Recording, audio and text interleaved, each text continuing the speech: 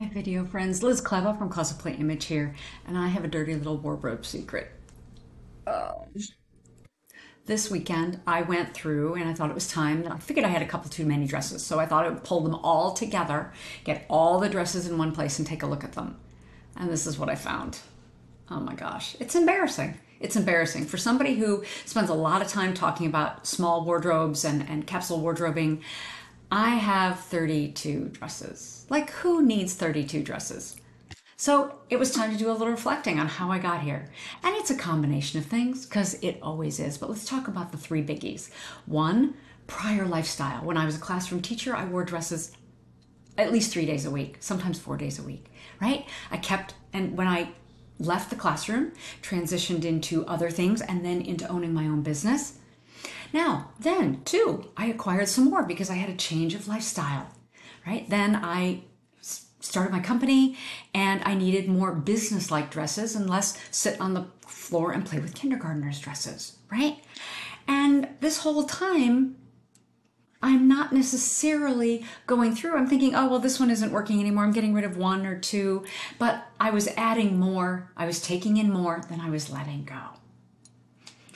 And then three, this thing happened a couple years ago, I don't know, back in 2020 or something, where basically I stopped wearing dresses for work completely because I was working from home. I, I, wonder if you remember, it was kind of this strange time. A whole bunch of people were doing this too, right? And although I was working from home, while I was creating my french fries and my wardrobe plans and shopping, I was still each like twice a year buying a dress. So I was accumulating like two more dresses a year. So if I think about 2020, 2021, and 2022, I still probably got six more dresses in my wardrobe, even though I wasn't wearing them. What was I doing? What was I thinking? I don't know. So it's time. Now, for you, it may not be dresses. For you, it might be t shirts, might be jeans, might be PT gear. Whoa, do I see that in the PT gear very, very frequently. Also in the jeans and t shirts. Um, now, I could discount a few of these dresses. Like, um, kind of on one end, there are my kind of like date night dresses and there's even three or four dresses here that I only wear for events like balls at the dance center where we go for ball where my husband and I go for ballroom dance, right? So even if I take out like those three or four dresses, I've still got close to 30 dresses, which for me feels excessive. It feels like too much, and it's time to release some of these into the world. Now, 30 dresses might be perfect for you. Wow, I could wear a different dress every day of the month. That might be kind of a fun exercise to try. Hmm. Thought there. That might be our, my next uh, wardrobe activity, might be wear a dress every day for a month. But that's too much for me. And I know that. I know where my sweet spot is, and I know it's not almost 30.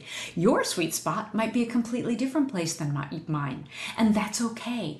Um, I'm trying to think if I have a blog post about wardrobe sweet spots. I don't remember. If I do, I'll link it in the post below. But whoa, this is just way too much for me. So, in the next uh, week or two, I'll be doing some wardrobe editing and I will take you along with me. That'll probably be next week's video for you.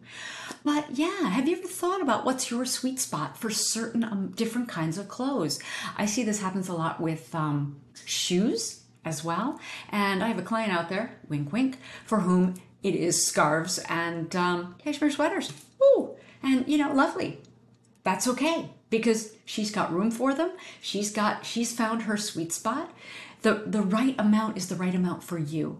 My right amount is going to be different than yours. Um, and I talk, and I do have a blog post about how you'd kind of determine that. Like what is what is enough for you? It's something to think about. So give that some thought over the next week. How much is enough for you? For me, this is too much and it's time for me to edit. So that's my dirty little wardrobe secret. What do you have enough of or what do you have too much of? Go ahead and share in the comments below. I'd love to hear from you. Uh, pop on over to the blog if you want to learn more about capsule wardrobes. this is ridiculous because there's nothing capsule about it, but that's okay. Capsule wardrobe, style in general, midlife style, shopping, color, you name it, it's over there. It's over there at the blog. That's closetplay.biz. ClosetPlay.biz, Biz Rhymes with Liz. I'm Liz Cleva. Thank you for spending some time with me today because your time is valuable and any of it you spend with me is a gift. Stay safe and sound, sane and stylish. Bye.